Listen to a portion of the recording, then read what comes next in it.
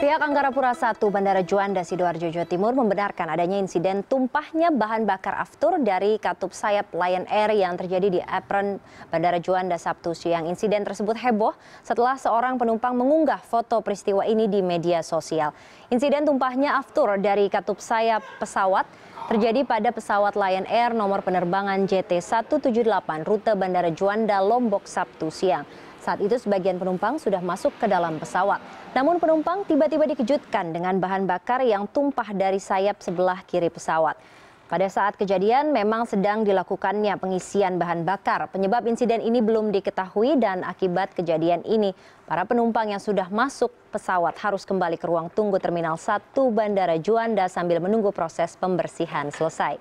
Upaya pembersihan dan pengeringan tumpahan bahan bakar memerlukan waktu sekitar 2 jam.